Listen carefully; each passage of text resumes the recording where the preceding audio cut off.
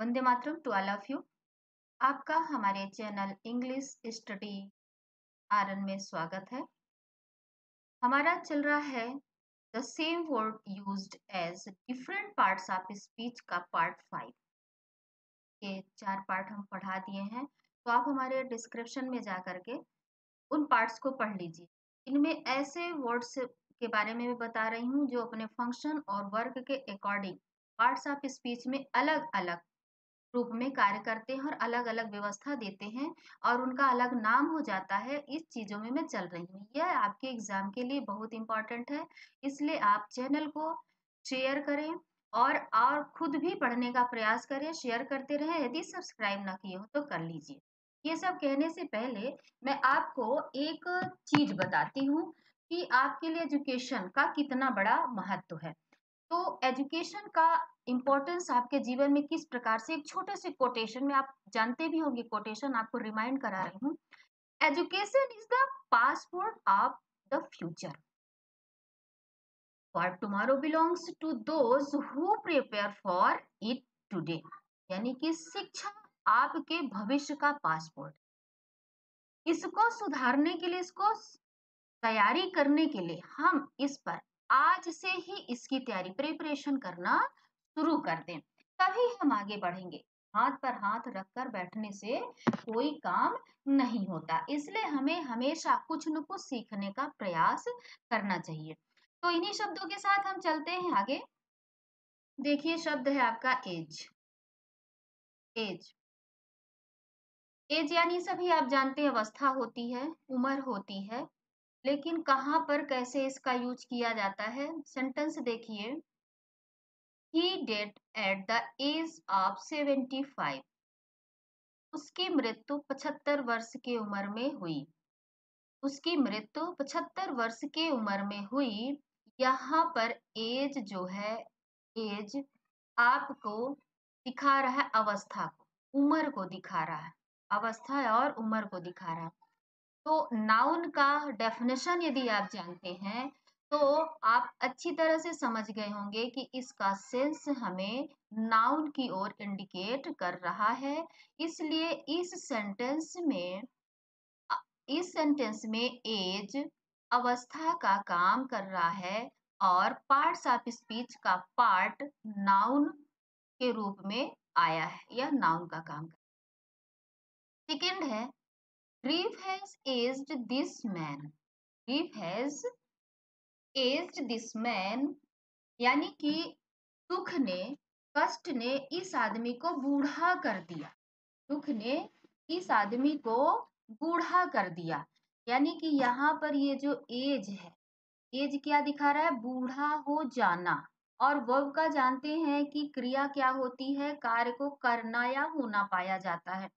तो यहाँ पे ये बूढ़ा हो जाना, यहाँ पे एज्ड जो है तो वर्ब का काम कर रहा है। तो इस तरह से आप एज के दोनों पार्ट को समझ गए होंगे कि एक सेंटेंस नाउन का कार्य कर रहा है और एक वर्ब का।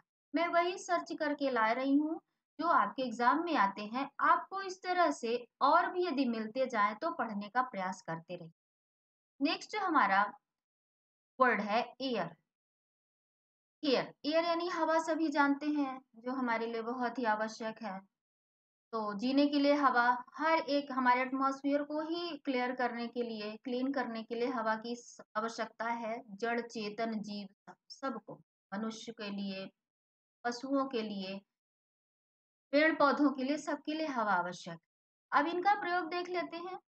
He has an air of importance he has an air of importance इसका अर्थ हो रहा है? पहले देख लेते हैं कि इसका अर्थ क्या हो रहा है कि उसके हवा जो है तो उसके पास he has an air of importance उसके पास महत्व की महत्व की हवा, यानी जैसे इस समय आवश्यक है आपको ऑक्सीजन ऑक्सीजन किसके पास है, किसके पास नहीं है?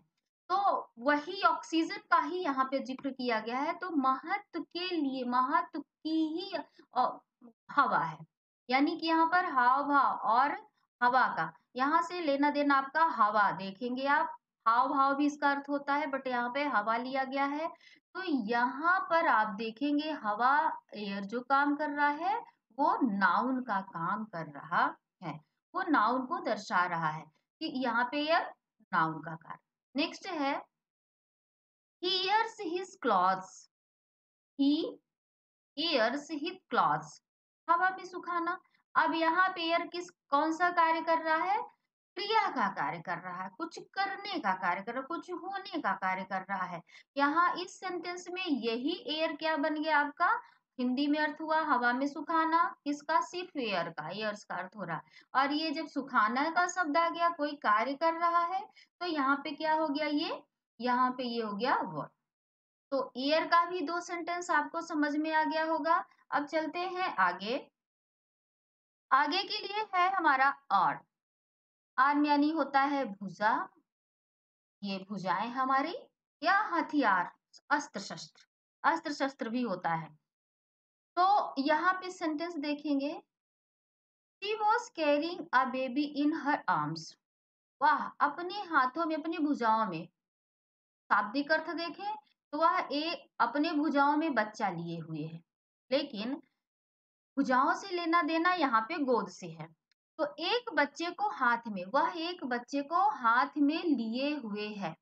हाथ में लिए हुए है, यानी कि गोद लेते हैं तो अपन ऐसे लेते हैं। तो ये सेंस आ रहा है। इस सेंस के लिए अब ये हमारा बॉडी पार्ट हो गया।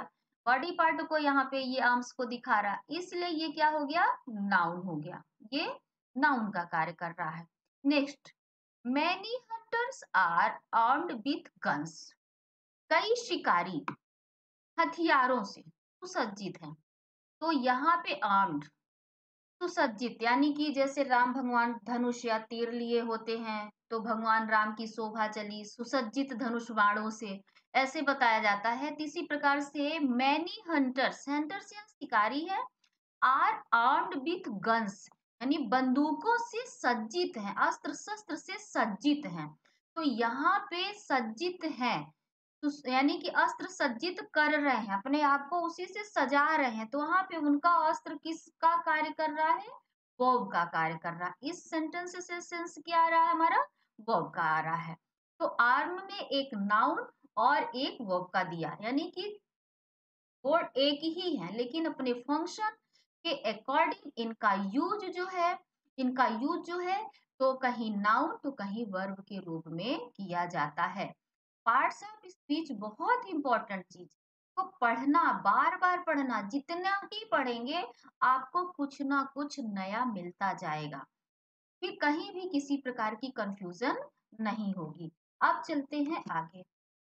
आगे आया अबाउट अबाउट अबाउट तो जानते हैं, आप प्रीपोजिशन का कार्य करता है मेनली लेकिन यहाँ पर अब सेंटेंस देखेंगे। अबाउट का हिंदी अर्थ हो रहा लगभग, प्राय सभी जानते हैं। एडवर्ब एडवर्ब है ये। एडवर्ब का कार्य करता है। और प्रीपोजिशन भी है तो he wandered about aimlessly he wandered about about aimlessly यानी कि वह प्रायः वह प्रायः बेवजह भटकता रहा। एमलेसली बेवजह। ही वंडर्ड अबाउट एमलेसली प्रायः बेवजह भटकता रहा। तो अब एडवर्ब क्या काम करता है? एडवर्ब क्रिया विशेषण होता है, जो एडवर्ब एडजेक्टिव नाउन और स्वयं। क्रिया की विशेषता बतलाता है स्वयं की विशेषता बतलाता है। तो यहाँ पर एमलेसली तो ये एडवर्ब हुआ ही। इसके पहले लग करके, इसके पहले लग करके यह प्रायः का सेंस दे रहा है। यह सेंस जो दे रहा है, यानी कि किसी कार्य के कार्य को कैसा कार्य है, उसके सेंस को बता रहा है। इसलिए यहाँ पर यह अबाउट जो है तो एडवर्ब का काम करता है। नेक्स्ट है there is something pleasing about him यानी कि उसके बारे में कुछ सुखद है। उसके बारे में अबाउट हिम उसके बारे में कुछ सुखद है। तो अब यहाँ जो सेंस दे रहा है तो ऐसी कोई न्यूज़ आई होगी, उसके पास से कोई न्यूज़ आई होगी, आसपास का दे रहा है यानी कि कोई समाचार ऐसा आया होगा कि सुखद है। तो इसका जो सेंस आ रहा है तो यानी कि उसके बारे में, उसके बारे में कुछ सुखद है तो यानी कि उसके आसपास ही सुखद है।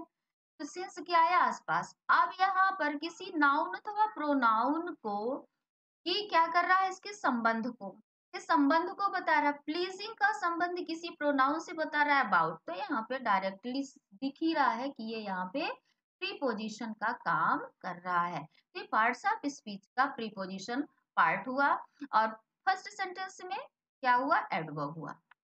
नेक्स्ट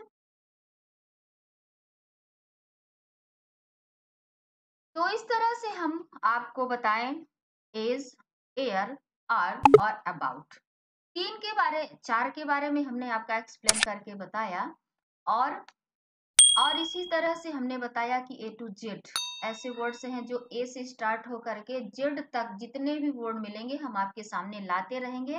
तो अभी तो ए से हमें जितने मिले हैं ए का ही फाइव पार्ट कंप्लीट हुआ है। इसी प्रकार से सभी हम लेटर्स के साथ जितने वर्ड मिलेंगे आपके सामने लेते आएँगे और आप पहचानते रहेंगे, समझते रहेंगे और पढ़ते रहेंगे। तो आप जैसे ही पढ़ते जाएँगे, आपका माइंड भी ब्रॉड होता जाएगा और पार्ट्स ऑफ़ स्पीच बिल्कुल आपको कंफर्म हो जाएगा कि किस वर्ड्स का कहाँ पर कैसे यूज़ किया जाता है। और इसी तरह से बने रहिए। For watching this video thanks thanks a lot